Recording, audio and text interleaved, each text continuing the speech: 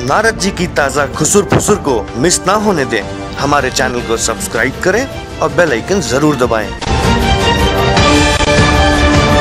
नारायण नारायण। कल ही पूरे देश ने मजदूर दिवस मनाया। क्या सही मायने में उनको शुभकामनाएँ देना सही होगा? हर कहीं मजदूरों की स्थिति बद से बदतर है। यहाँ भी मामला कुछ ऐसा ही है। ये परेशान कामगार अपनी व्यथा लिए रायपुर प्रेस क्लब पहुँचे हैं ताकि इनकी यहाँ कोई सुन ले।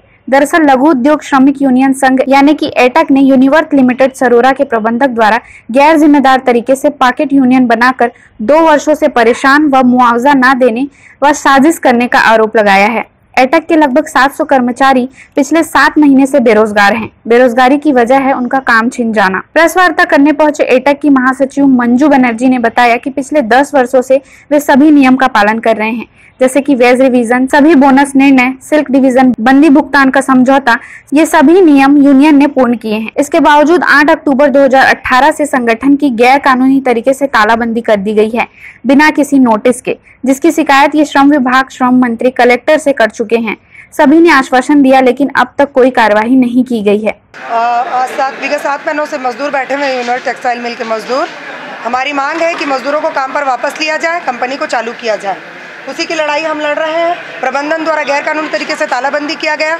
उसके बाद अभी गैर कानूनी तरीके से एक पॉकेट यूनियन के साथ समझौता किया, जो हमको मान्य नहीं है।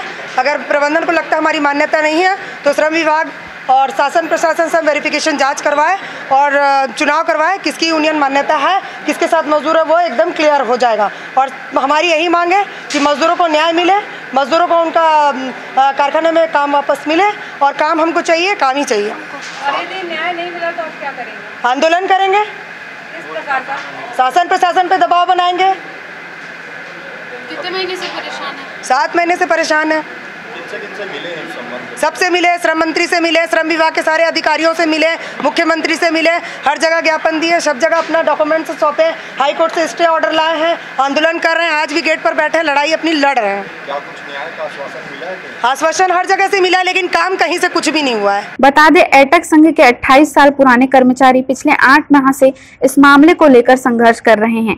एटक के सभी लोगों को पिछला वेतन भी नहीं मिला है और काम भी। इनकी यही मांग है कि श्रम विभाग त्रिपक्षीय चर्चा कर श्रमिकों के पूर्ण मेंबरशिप वाली 10 वर्षीय पुराने लघु उद्योग एटक के साथ मीटिंग कर मामले का निराकरण करे। खबरची न्यूज़ के लिए कैमरामैन राकेश यादव के साथ ममता मानकर की रिपोर्ट।